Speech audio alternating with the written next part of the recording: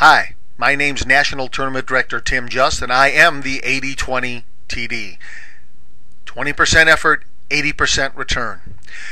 Today I'm going to show you how to use the program WinTD to create the files you'll need to rate a tournament online with the United States Chess Federation. I've already opened up WinTD and I have our practice tournament already loaded. This is a good idea. Have the tournament that you want to upload, that you want to create the files for, already loaded. The WD section I use for my withdrawals, and no games have been played there. The extra game section is a section I use when a player with a bye gets to play an extra game and still keep the bye in their section.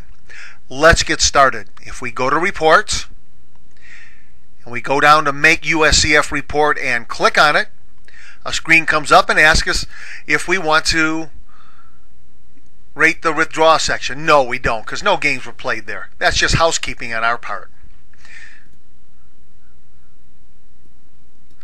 Let's look at this little window that popped up. Let's put the end date in there. 1 slash 6 slash 2009. It's probably best to use all four digits when putting the year in. Otherwise, you may find that uh, there's an error when you try to submit the tournament. In fact, you may even get an error message right away. Let's try that here and see what happens. 1 slash 5 slash 09. Let's go to the affiliate ID. The affiliate ID for this tournament is A 6 0 2 0 523. That's Chess for Life LLC. Scholastic Tournament, check this box if it's a Scholastic event. This tournament was held in Gurnee, Illinois. The zip was 60031. The country was USA. We don't want a cross table, and we want to write the files to the hard drive, not the A drive or the B drive we're not sending a disk. We're handing in a tournament online. Hard drive. We're going to say OK. Let's see what happens up here when we use 09 for our date. There didn't seem to be any problem with that.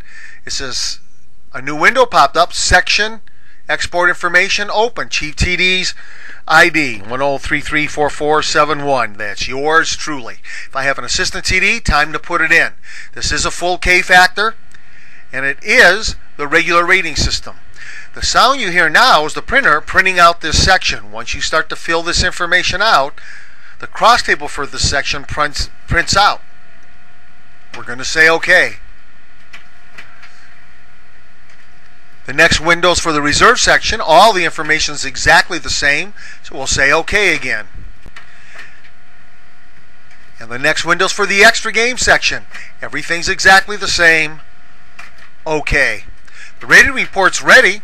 Here's some information that you're going to need if you send it in on diskette, but we're not doing that. We're going to use the 80-20 method and hand it in online so that our tournament can be rated within minutes of it ending at our site, or at least we can get the information uploaded to USCF that night at home or the next morning. That's all there is to it.